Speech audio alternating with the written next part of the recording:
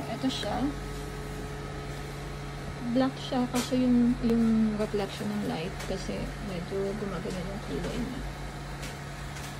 Pero black, black ito. Ano ng So, okay naman siya. I can consider this as rank A or 90%. Meaning, wala siyang mga cracks.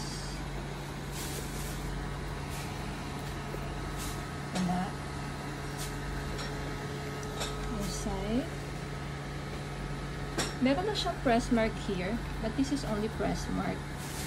Yan. I think sa outlet ito binili. Kasi pag sa outlet binili, may mga imperfection eh. Mga display item. Pero, maganda pa siya. Konting palinis lang siguro. O, naglinis naman siya. Kung eh, aalagaan nyo lang to ng leather conditioner. Or polish nyo lang with kiwi, yung mga leather nyo para maging ayos. So, may, yun lang naman yung ano niya, which is dito yung press mark na pinakita ko sa gilid naman. And yung sa handle niya, wait, pakita ko. Ito yung handle. Yan yung handle. Meron lang siyang, ito sa may, ayan, di ba yung handle sa likod. Ito, yan.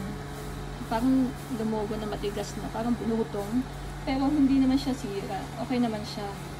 Hindi naman siya yung parang, okay naman yung handle. May parang bulutong lang dito. Ewan ko anong nangyari. Or ano yun? Hindi bulutong, yung hulugo.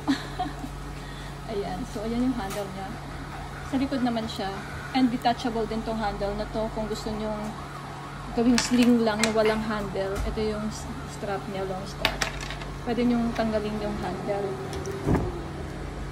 Yun lang naman. Kasi ito, okay naman yung handle dito.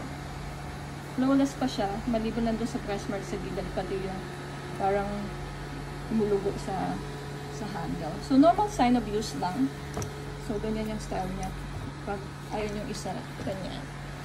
Yan. Maganda pa siya. Likod yan. Yan. Polish lang to ng kiwi at saka ng leather conditioner. Okay na to. Yan. Pag, ano, pag nakabuka yung zipper niya, ganyan siya. Tapos ito yung mirror. Yan. Tapos yung loob. Malinis naman yung loob. Pero syempre may minimal sign of usage. Pero malinis. Ayan. Ayan naman yung kanyang tag. And yung code nito nandito sa likod. Ayun. Yan.